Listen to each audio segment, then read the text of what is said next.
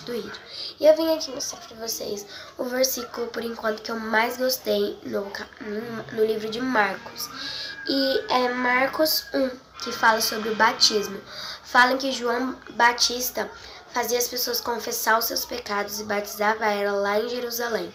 João Batista, para quem não sabe, foi a pessoa que batizou Jesus. Ele se sentiu incapaz de batizar um homem tão poderoso e falou: Você deveria me batizar. E o que eu entendo sobre o batismo?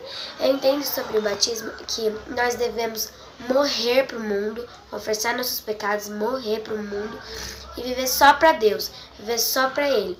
Nós devemos morrer o significado do batismo é morrer para o mundo e viver para Deus.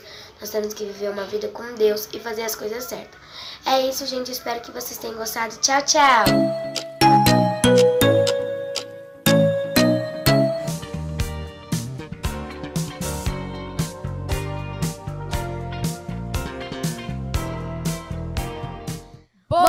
Noite, galera. Sejam bem-vindos ao O Meu, o Seu, o nosso The Night Kids. E o nosso tema de hoje é identidade. Então não esqueça de deixar o seu like, se inscrever no canal e ativar todas as notificações de todos do nosso canal no YouTube, né? Pra você não perder nenhum vídeo culto kids e mais coisas que passam na nossa igreja. Sim, porque nós temos muito conteúdo aqui, Sim. né, Gabriel? E coloca a nossa hashtag, hashtag galera do gêmeo. Isso mesmo, não se esqueça de compartilhar com seus amigos e família.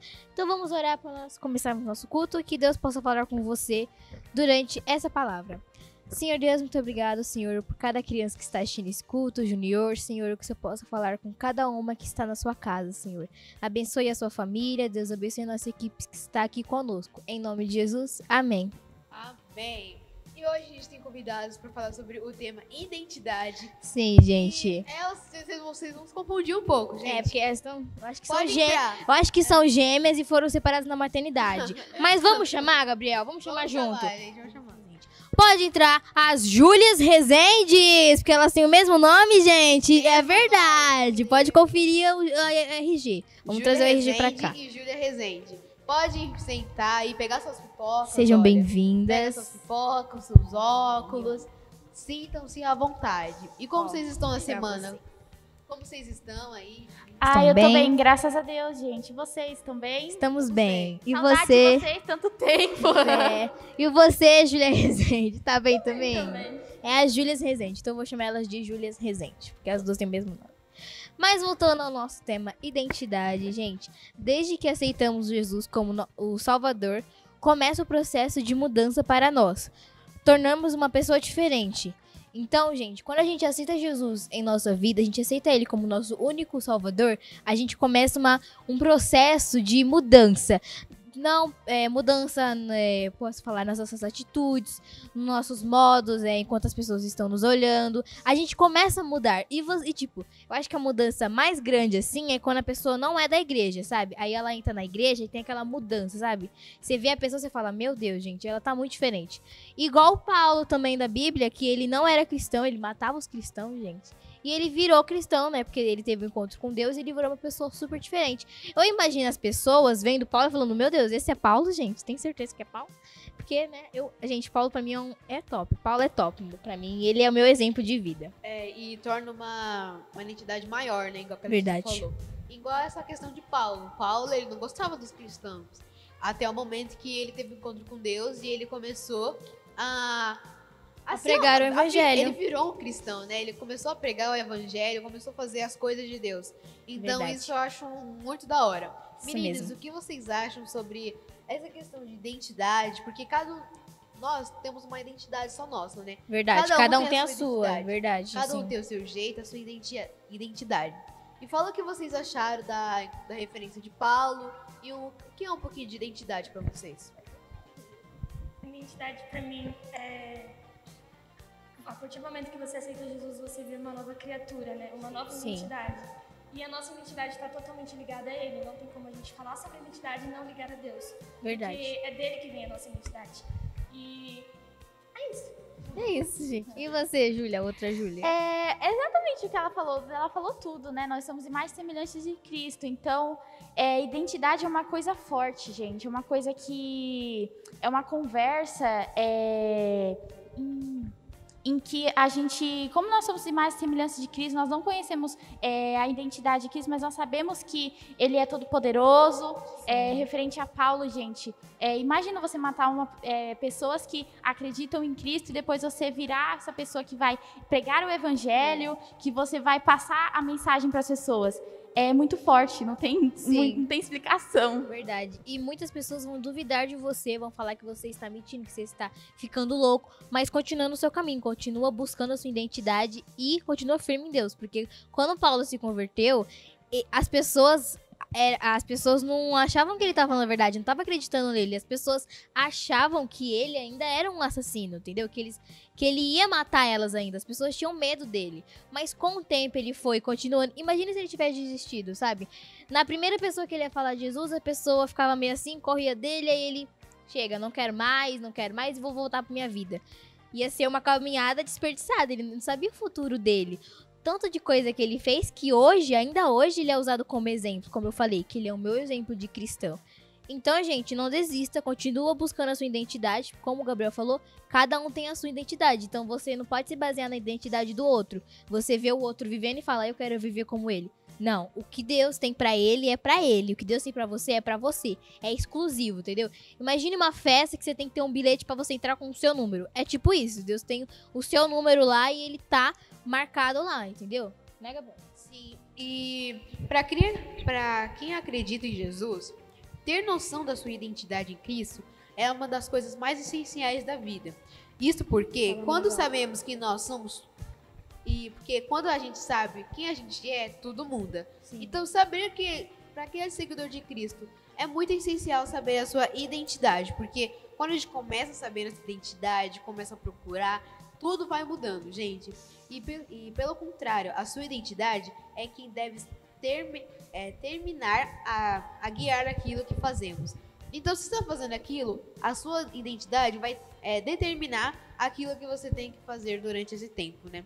E também tem um versículo que está lá em Gênesis, capítulo 1, versículo 27, que fala: Criou Deus o homem em sua imagem, a imagem de Deus o criou, o homem e a mulher os criou. Então, isso Deus fala sobre. É o. Eu acho que é a primeira parte né, da Bíblia que Deus fala sobre identidade. Sim. Eu acho isso muito legal.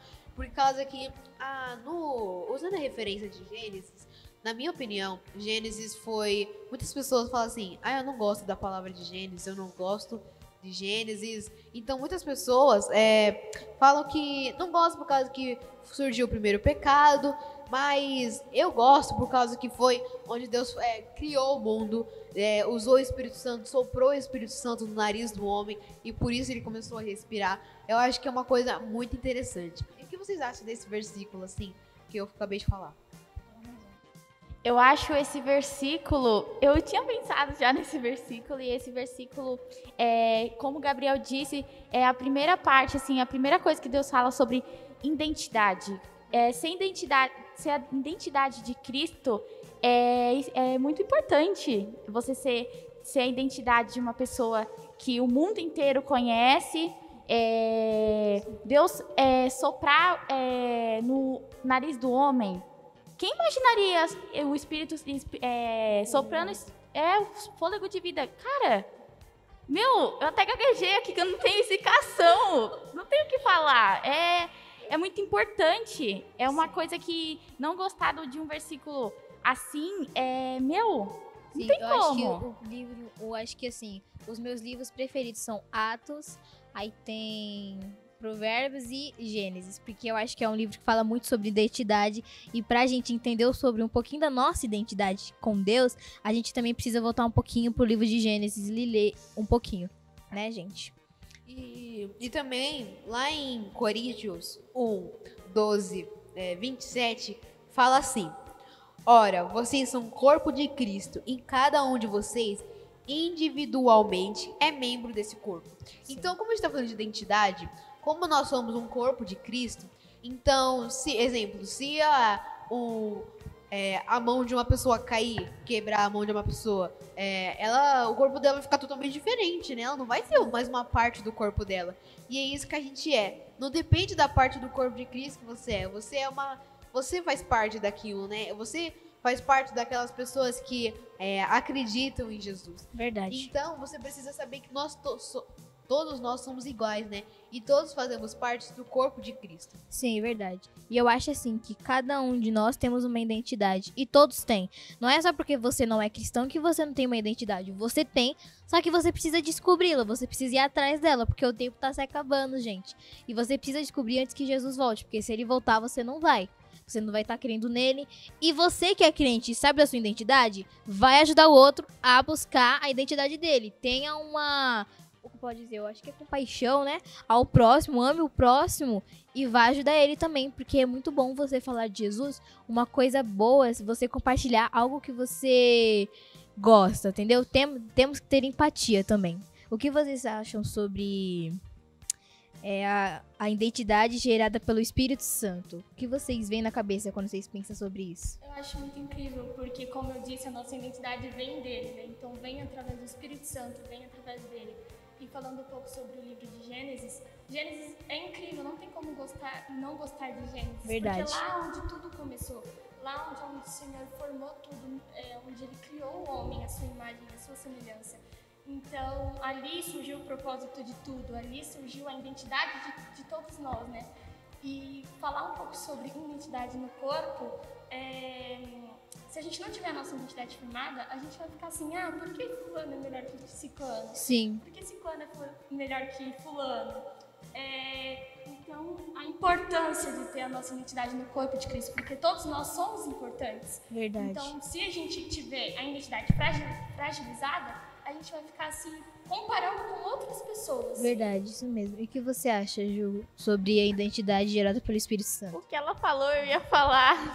Gente, é, é- tá vendo? Júlias É o, que ela, estão é o que conectadas. ela falou, eu ia falar assim, mano, o que ela falou, eu ia falar, não tenho o que falar, cer- certinho do jeito que ela falou, eu ia falar. É, como eu disse, é, Gênesis fala sobre muito sobre a gente, né? Sobre Deus, qu- quando Deus criou o homem e a mulher. É, fala, é, Gênesis é um livro que fala mais sobre nós, né? Porque os outros livros Deus indica, é, usa pessoas, mas Gênesis, Gênesis, é, Deus fala diretamente, é um princípio, é, é diretamente com a gente. Verdade, isso mesmo. E também, quando, como a gente tá falando de identidade, eu falei que cada um. Nós, cada, um- cada uma pessoa tem a sua identidade, né? E pra gente, como a gente pode usar a, a nossa identidade pra falar de Deus para outras pessoas? Através do Espírito Santo, né? A gente, a- o Espírito Santo conecta a gente a Deus, né? Jesus. Jesus Sim. é o, o caminho, né? E com a nossa identidade, a identidade de Cristo, a gente consegue conquistar os- outras pessoas. Sim, verdade. Teve um culto aqui, eu acho que foi com o Gui que a gente fez, que ele falou, explicou um pouquinho sobre tomada, que foi, gente, foi muito top. Se você não assistiu esse culto, volta lá e, e procura que tá o Gui assim, não sei se você conhece ele, é o Guilherme. E ele, e ele explicou muito sobre isso, foi algo que eu achei muito legal, falando sobre Deus nos conectar, da, da gente, é, foi conectar, acho que foi o culto conectar. E voltando sobre identidade, Pra gente saber nossa identidade, pra Deus nos revela- revelar ela, a gente precisa conhecer a Deus. A gente também precisa ter um relacionamento com Ele e Ele vai nos revelando aos poucos. Ele não vai mostrar assim direto, Ele vai revelando aos poucos. Porque eu imagino assim, se Deus mostrar é, tudo assim direto, a pessoa vai ver, vai ver, ah, é bom, não, não quero mais. E vai desistir. Entendeu? É a mesma coisa com Paulo. Se Deus tivesse mostrado tudo que ele ia fazer, tudo, ele tinha continuado, ele ia fazer. Então, eu acho assim que Paulo pensou às vezes em desistir, porque não é fácil você pregar pra alguém. Muitas pessoas vão achar que você tá pirando a cabeça, que você tá falando mentira, que é, tudo aquilo é mentira, que vai acontecer é tudo mentira, mas você deve continuar, como eu falei no começo, você deve persistir em Deus e continuar nele pra você saber um pouquinho mais da sua identidade. O que vocês já acham sobre da gente começar um relacionamento com Deus pra descobrir nosso, é, nossa identidade com ele? É, realmente, pra gente descobrir a nossa identidade, a gente tem que estar relacionado com ele, ter um relacionamento íntimo com ele. E se a gente tem dúvida de quem nós somos, a gente quebra essa dúvida quando a gente olha para a palavra. Porque tudo que ele diz sobre a humanidade, que inclui nós, tudo que ele diz para nós, está na palavra. Então, se a gente tem dúvida de quem nós somos, se a gente for olhar lá, está lá. Então, se a gente adquirir um relacionamento com ele, a nossa identidade vem. E a gente não consegue fazer nada para Cristo se a nossa identidade estiver fragilizada. Sim, verdade. Verdade. E você, Nós temos que. Nós temos que. É, é realmente, nossa, é, a gente tem que estar certinho, né, gente, com Deus. Não adianta você não fazer nada certo e, e pregar a palavra. É identidade. Identidade é uma, uma coisa que você tem que falar tudo certinho. É, você pregar o evangelho, você tem que falar tudo certo, você ter é, um relacionamento com Deus muito forte, é você ler a Bíblia, é você orar, é, isso é identidade também, né? E também pra pegar o evangelho, você também tem que ter vivido, você tem que viver o evangelho pra você pregar o evangelho. Não adianta você ler a Bíblia e falar, vou pregar sobre isso e acabou. Não, você tem que ter uma caminhada com Deus, você tem que ter indo uma caminhada com Ele, aí você vai tendo experiências e vai poder compartilhá-las. E não somente falar, mas também fazer o quê? É... Com as suas atitudes também, você pregar o evangelho. Sim. E também, como a gente tá falando de identidade, para encerrar, a gente precisa ter essa identidade, né? Ler a Bíblia, ficar firme é, com o Senhor, para nossa fragil, é, pra nossa identidade não se fragilizar, igual que a Júlia Isso é falou. verdade mesmo. Porque a nossa identidade vai, de- vai definir o que, que a gente é. Então, se a gente é, tá crescendo em Cristo, a gente tá lendo a palavra, então a gente, todo o lugar que a gente for, a pessoa vai olhar e falar: esse é um seguidor de Cristo. Sim, Porque ele tem a, a identidade, né? Precisamos verdade. ter essa identidade parecida com Cristo. Sim, gente. E esse foi o nosso Tonight Kids de hoje. Eu espero que você tenha gostado sobre o tema identidade, porque esse tema é um tema, assim, é muito longo e a gente poderia estar falando, é, Tonight Kids diretos falando sobre isso. Mas foi isso o nosso Tonight Kids de hoje, com essas convidadas. E foi isso, gente. Um beijo e tchau. Até o próximo, gente. gente.